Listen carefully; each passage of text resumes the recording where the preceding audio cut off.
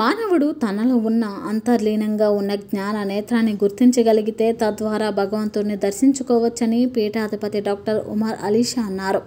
Pithapuram Kakinada road నందలి శ్రీ విశ్వ విజ్ఞాన విద్య ఆధ్యాత్మిక పీఠం నూతన ఆశ్రమ ప్రాంగణంలో మూడు రోజుల పాటు జరిగే పీఠం తొంభై ఐదవ వార్షిక మహాజ్ఞాన సభలు గురువారం ప్రారంభమయ్యాయి.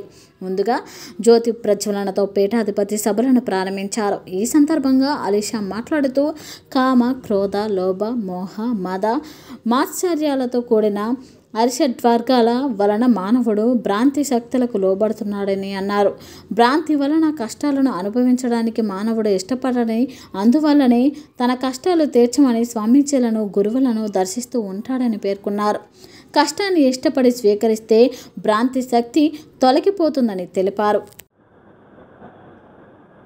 శ్రీ విశ్వ విజ్ఞాన విద్య ఆధ్యాత్మిక పీఠం యొక్క వార్షిక మహాసభలు మనం జరుపుకుంటున్నాం. ఈ సందర్భంగా ఈ పీఠం యొక్క ఆధ్యాత్మిక తత్వము మానవత్వమే మతము మానవత్వమే ఈశ్వరత్వము అనే అనుభవపూర్వకమైన తాత్విక జ్ఞానాన్ని ప్రసాదిస్తూ మనలో ఉండేటువంటి జడతత్వాలను తొలగించి ఈశ్వరత్వం వైపు పయనింపజేసేటువంటి తాత్విక జ్ఞాన మార్గము శ్రీ విశ్వ విజ్ఞాన విద్య ఆధ్యాత్మిక పీఠం యొక్క తత్వము.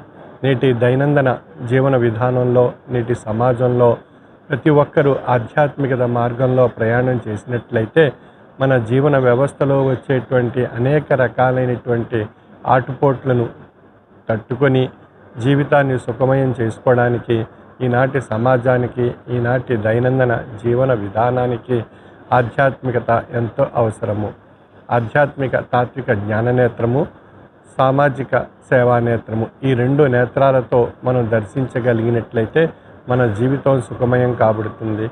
సమాజంలో ప్రతి ఒక్కరూ ఆధ్యాత్మిక విలువలు కలిగి తమ జీవన విధానాన్ని సాగిస్తూ భగవత్ కృపకు పాత్రులు కాబడుతూ మనం మన ప్రకృతిని మనం రక్షించుకోవాలి. వారు ప్రకృతిలో వృక్షాలు ఎంతో ముఖ్యమైనటువంటి సంపద.